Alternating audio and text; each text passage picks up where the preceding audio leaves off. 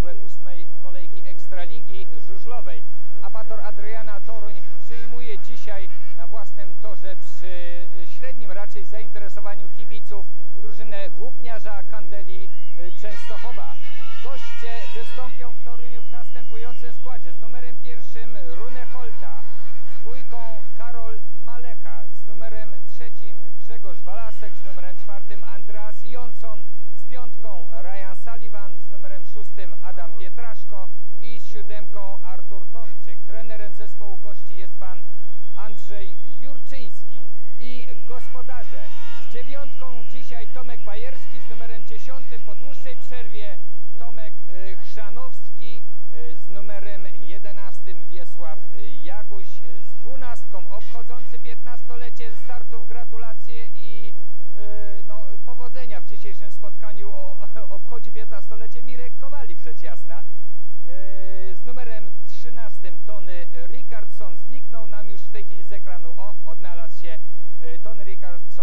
trzynastką z czternastką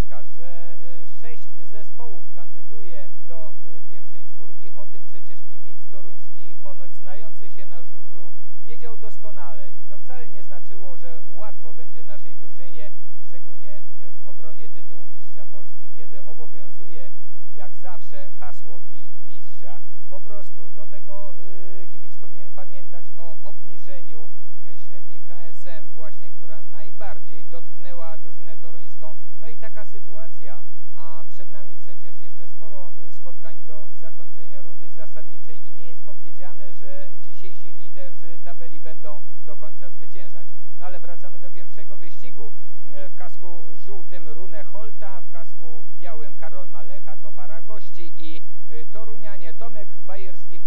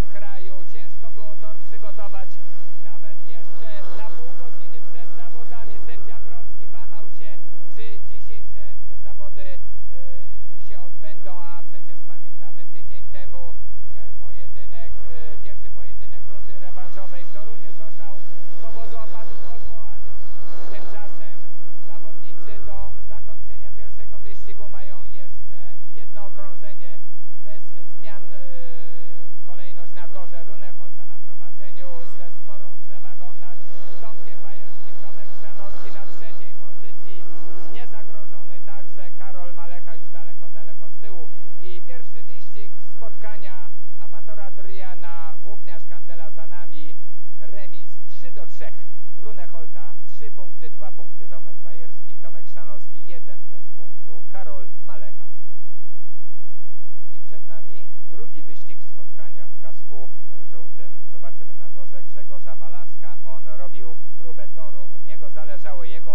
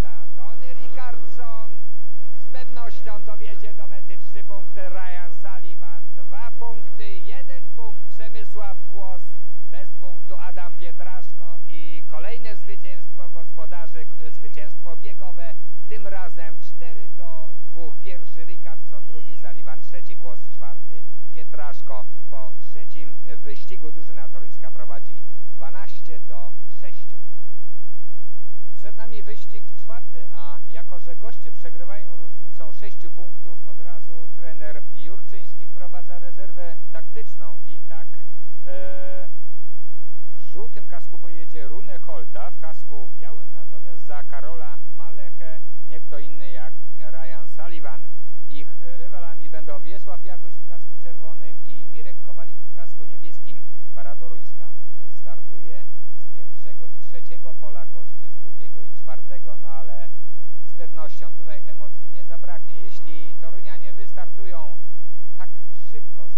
refleksem, jak to miało miejsce w drugim e, biegu, kiedy pokonali wyraźnie e, parę częstochowską podwójnie, to przecież e, jest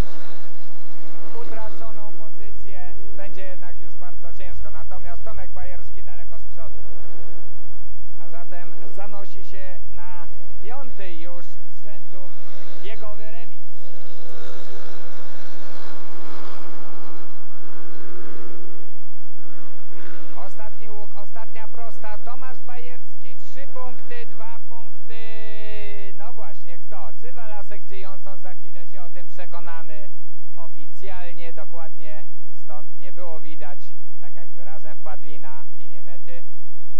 Natomiast bez punktu z pewnością przyjechał do mety Tomek Szanowski.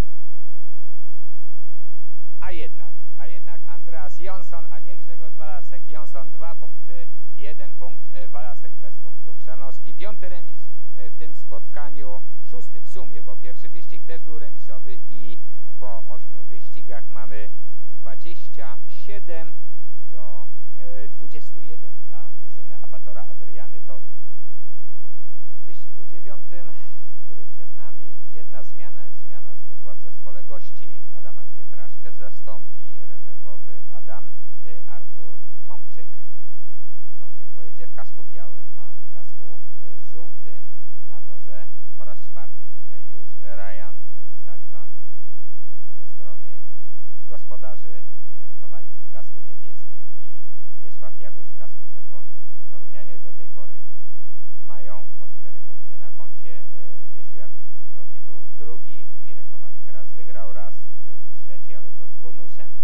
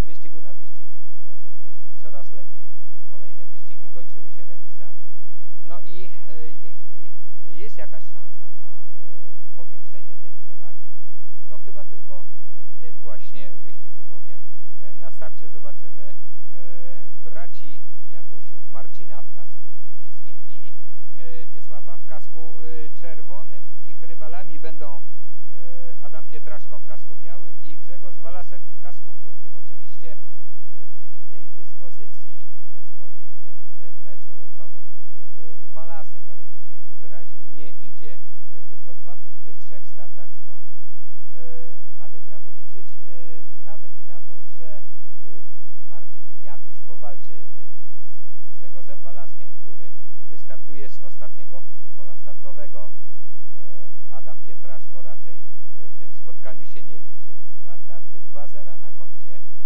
zobaczymy. A zatem e, dwaj zawodnicy w czerwonych kevlarach przykują naszą uwagę. To najlepiej ze startu. Wiesław Jaguś, Marcin Jaguś e, na razie na ostatniej pozycji.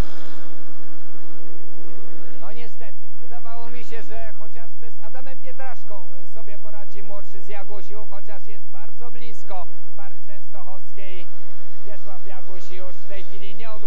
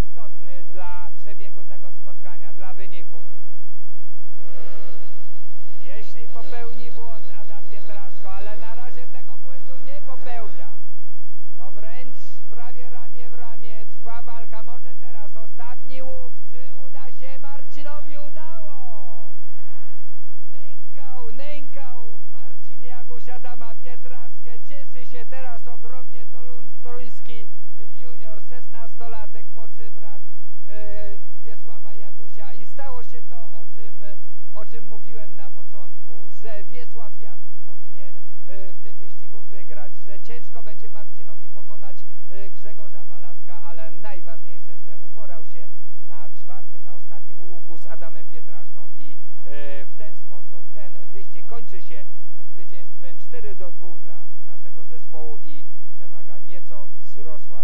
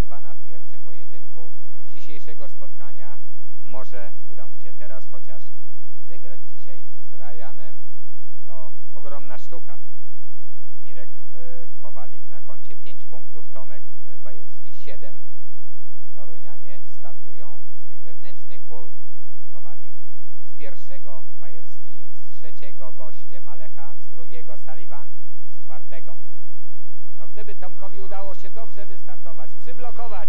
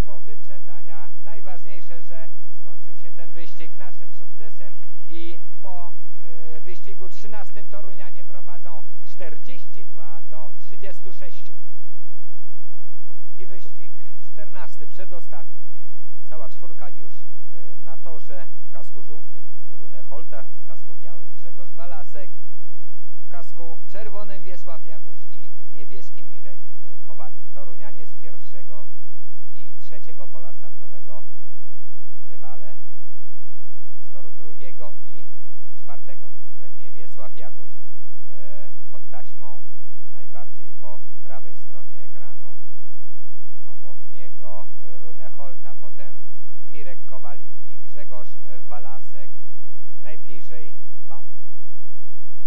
42 do 36. To jeszcze ten wynik nie gwarantuje zwycięstwa w tym spotkaniu. Spodziewaliśmy się, że będzie to mecz ciężki do wygrania. Drużyna częstochowska sprawuje się znakomicie w tym sezonie, mając czterech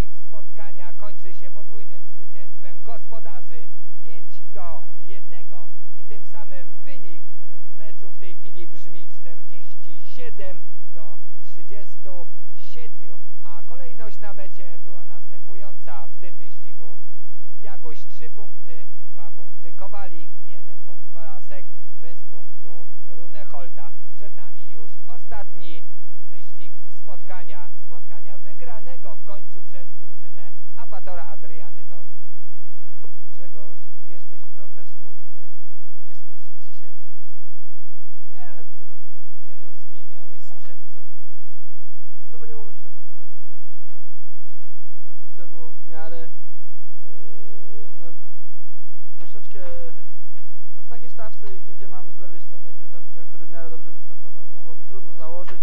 W przypadku Wiesława Jagusia i w ostatnim biegu Mirka Kowalika. No i tak skończyło się tak jak skończyło, no. także y, zawaliłem, jak mogę ocenić, początek y, spotkania, gdzie, gdybym szybciej doszedł co, co, jakie założyć zębatki, może bym miałem lepsze pola. Być może, być może y, to by, to by był mój atut i to bym wykorzystał. No niestety w końcówce pola miałem inne.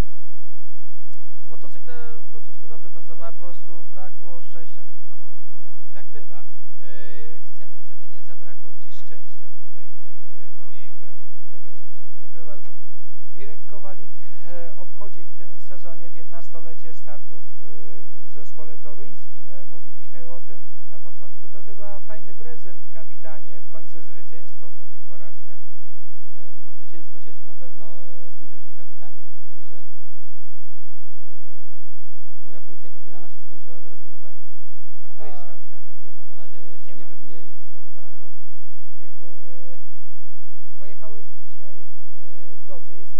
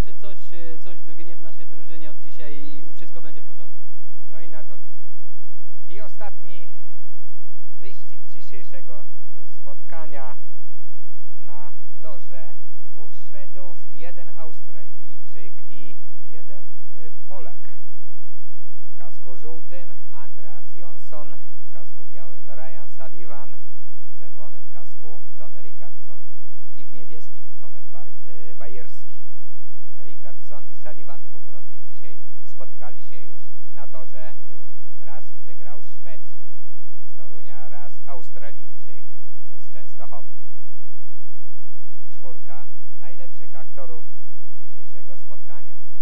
Do tej pory Tony Richardson ma na koncie 10 punktów, Tomek Bajerski 9, Ryan Sullivan jeżdżący jeden wyścig y, więcej 14, 4 zwycięstwa, raz y, drugi, natomiast Andreas Johnson po y, gorszym początku spotkania, potem coraz lepiej i do tej pory w pięciu swoich startach zgromadził punktów 9. Spokojnie, już teraz będziemy ten e, bieg obserwować, bowiem Abator Adriana już zwycięstwa nie straci. Pytanie tylko, jakim rezultatem zakończy się ten pojedynek. Przypomnijmy, w Częstochowie gospodarze Włókniarz Kandela pokonali Abatora Adrianę 48 do 42. Czy będzie podobnie w Toruniu, czy odrobimy trochę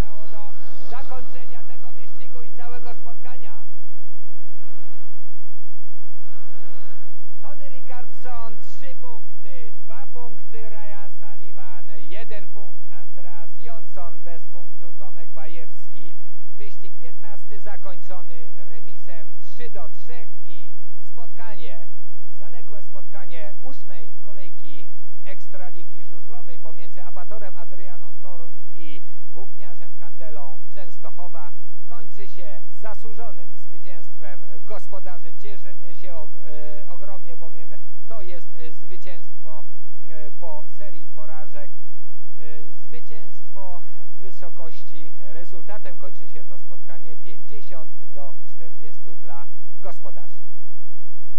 Ryan, uh, you are in fantastic disposition this season. Your time is came. Ryan, jesteś w fantastycznej dyspozycji w tym sezonie. Nadszedł Twój czas? Może, wiesz, pracowałem bardzo ciężko w zeszłym roku i są efekty. Moja kondycja jest lepsza niż kiedyś, pewność siebie także, atmosfera w Częstochowie znakomita. Każdy chce walczyć, nic, tylko wygrywać. Co sądzisz o Twoich szansach w Grand Prix? Jesteś w czołówce. Możesz być mistrzem? Tak, ale wiesz, stara się o to 24 zawodników. Mówię tu o ostatnim spotkaniu, które mi nie wyszło. Postaram się to nadrobić w następnym,